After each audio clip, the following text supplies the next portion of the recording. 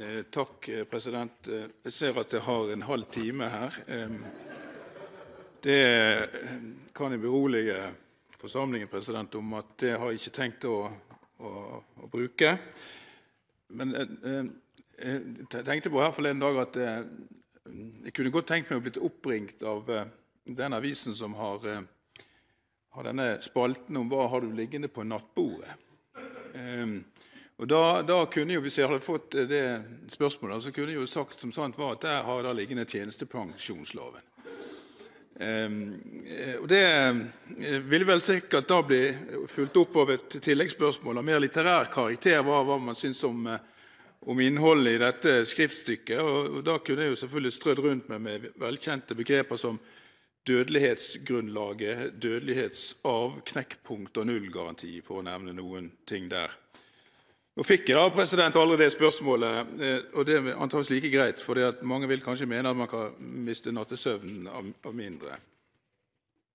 President, eh, Pensjonsforhold i privat sektor kan være til dels eh, kompliserte forhold. Tradisjonelt var de ordningene som eksisterte, stort sett ytelsesbaserte ordninger. Disse garanterte gjerne en viss prosent av lønnen ved pensjoneringstidspunktet. Ordningen Eh, hadde en innebygget garanti for nivået på selve pensjonen. Som kjent var det imidlertid ikke alle yrkestakere i privat sektor som hadde pensjonsordning utover den offentlige folketrygden. Det ble derfor i 2006 innført en allmenn pensjonsordning, OTP-ordningen, som altså er en ren innskuddsordning. Vi har derfor hatt to private pensjonsordninger som i form og innhold er relativt ulike. F.eks. er det slik at ytelsesordningen under visse vilkår vil være forutsigbar, mens OTP-ordningen ikke gir noen form for garantier eller forutsigbarhet. Den fremlagte lovproposisjonen 199 eh, L tjenestepensjonsloven omhandler og gir retning for alternative pensjonsløsninger. Proposisjonen bygger på NOU, eh, NOU 2012-13 eh, fra Banklovkommisjonen. Loven åpner for valgmuligheter og fleksibilitet for arbeidsgiverforetaket, og slik sett også for arbeidstakerne. Tjenestepensjonen vil være en kollektiv forsikringsbasert ordning i tillegg til folketrygden. Lovforslaget medfører at vi får en ny modell for opptjening.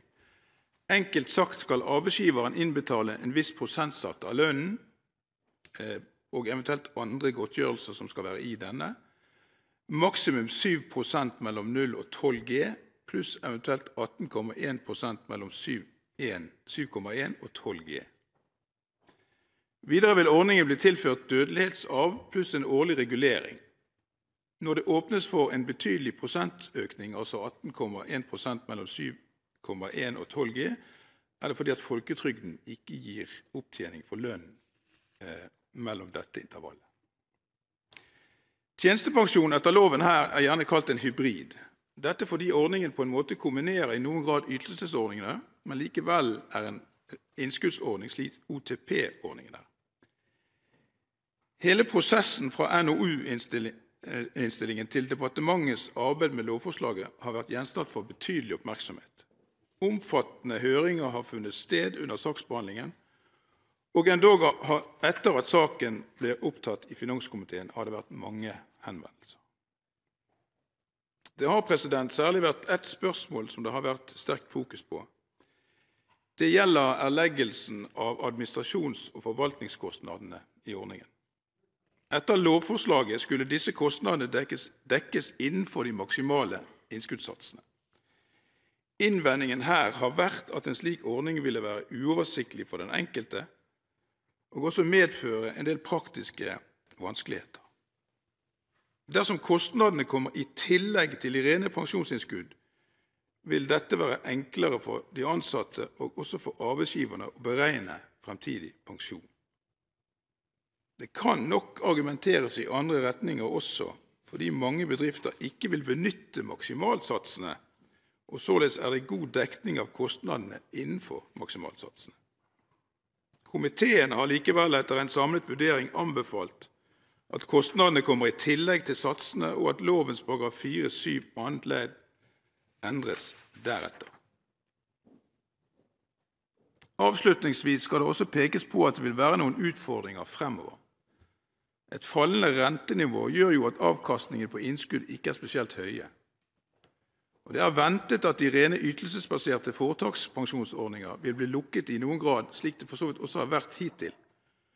Og Komiteen peker på at det må arbeides videre med regler for overgang mellom pensjonsordninger, og at dette arbeidet gis særlig oppmerksomhet. Jeg skal gjøre oppmerksom på at i innstillingen 35 L side 23 er det ved en inkurie oppgitt feil romertall. Der det står romertall 4, skal det stå 3, og på side 24 skal det så være romertall 4.